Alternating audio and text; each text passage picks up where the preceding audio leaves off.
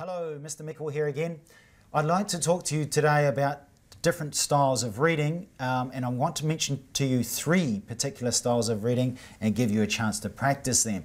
Very quickly, let's think about them like this. The first one we've got is skim reading. Skim reading here means to read the whole text very quickly.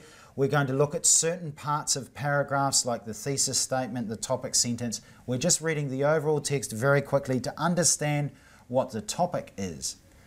The second type of reading is called scan reading. Now this scan reading is what we do when we're looking for a specific piece of information. For example, someone's name, uh, a date, maybe there's a, a question that we have to answer that is directing us towards a specific piece of information. Finally, we have the type of reading that most students do, which is called intensive reading. And this is trying to understand everything within the text. The problem is that students neglect these two and focus on this one too much. So intensive reading is important, especially at academic uh, English level, but we must not neglect those two. So now we're going to go on and have a look at these three types of reading. What is skim reading? Skim reading is noting key nouns and verbs in a text reading and doing this quickly. Why is skim reading important? Skim reading is an essential skill for good quick reading and general understanding of a text. Specifically, skim reading helps you understand the, the meaning in a paragraph. It enables you then to write a summary of the paragraph.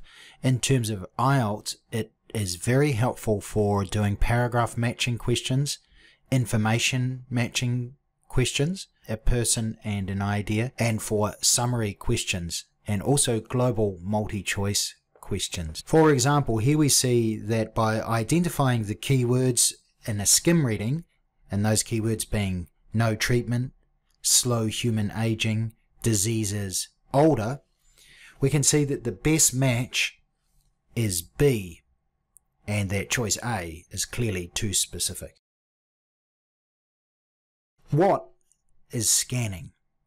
Scanning is looking for one word or a number or a name. We do it very fast. In this example, we're looking for the number 1750 and so we see the person reading very quickly. Why do we need scanning? Scanning is really only important in test, in a test situation. In your normal daily reading, we don't scan, but in a test, it's very good because it's going to help us read very quickly, and it's specifically beneficial for short answer or true false not given questions when we see in the question word a specific word that cannot have a synonym. So the first step, of course, is to highlight the word we're looking for in the question. And when we've done that, we want to find the words around the key word. So in this situation, we're looking at the words before and after 1750. And then we also notice that these other words, these other keywords, limit is similar to reduce. Food consumption is similar to caloric intake. And daily is the same meaning as a day. So all of these things are the same or synonyms for one another. So the answer is clearly true. What is intensive reading? Intensive reading is slow, reading word by word. This is the tr traditional way of reading. This is what most people think reading is. Why do we use it? Obviously, to understand everything in the text clearly. It's a very important and necessary skill at university and in academic reading. One of the problems, though, is that this type of reading is very slow, so it's not good uh, good reading style in a test situation, in an IELTS reading test, for example. Another problem is when we see vocab we don't know, we will often stop. This makes our reading not efficient. So closely connected to intensive reading is the idea of guessing new vocab. So in a reading text, why do you need to guess new vocab. Why do you need to be good at guessing techniques? Because you don't know all the vocab. As a non-native speaker, there's no way that you're going to know all of the vocab. You, to prepare for the IELTS test, for example, or any kind of reading test, it is incredibly inefficient and, in fact, impossible to try and learn every single vocab uh, chunk or unit. So instead of that, we're going to use guessing strategies. When there's a word we don't know, we can definitely guess. Even if you don't know the word consum consumption, by continuing reading, you see a connection at the end to the word diet or nutrition.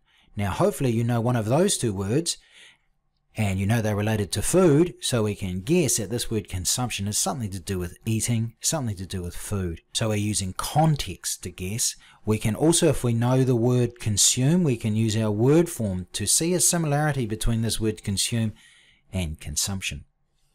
Ignoring words. So a big part of guessing, the guessing technique is simply to just ignore words some kinds of words, particularly adverbs and some adjectives, we really don't need to, to know them. So you need to think, do I really need to know this word? For example, in the text here, we have this adjective broad, a broad range. Do you need to understand the word broad? No.